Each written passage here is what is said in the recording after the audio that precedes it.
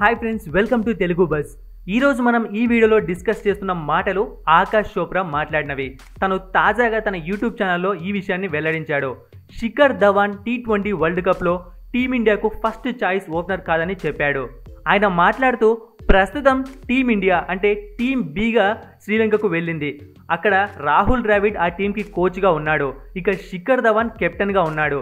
అయితే నాకున్న ఆలోచన ఏంటంటే శిఖర్ ధవాన్ అయితే టీ ట్వంటీ వరల్డ్ కప్లో భారత్కి ఫస్ట్ చాయిస్ ఓపెనర్ కాదు. ఎందుకంటే చివరగా మనం టీ ట్వంటీ సిరీస్ చూసామంటే ఆ సిరీస్లో అతను కేవలం ఒకే ఒక్క మ్యాచ్ ఆడాడు. నాలుగు మ్యాచ్లకు రెస్ట్ ఇచ్చారు. ఐపీఎల్లో తన పర్ఫార్మెన్స్కి ఎటువంటి డోకా లేదు. చాలా బాగా పర్ఫామ్ చేస్తున్నాడు. అయితే ప్రస్తుతం అతనిపైన పెద్ద బాధ్యత పెట్టింది బీసీసీఐ. ఒక టీంకి కెప్టెన్గా శ్రీలంకకు పంపింది. ఒకవేళ అతను బాగా పర్ఫామ్ చేశాడంటే అక్కడ ఖచ్చితంగా అతని పేరు టీ ట్వంటీ వరల్డ్ కప్ కంటెండర్స్లో ఉంటుంది. ఈ విషయాన్ని చెబుతూ Akash Chopra KL Rahul T twenty world కప్లో ఓపెనర్గా చేసే ఛాన్స్ ఉంటుందని చెప్పాడు.